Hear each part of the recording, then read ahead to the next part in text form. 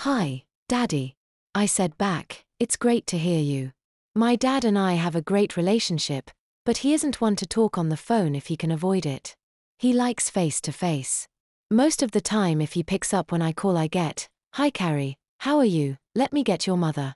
And yes, I do call him Daddy. What else would Daddy's little girl do? He must have sensed there was something up, otherwise, he would have told my mom just give her my love. So, what's up with Kevin? he asked. I explained what was happening. Interesting, he said. Not helpful, I responded.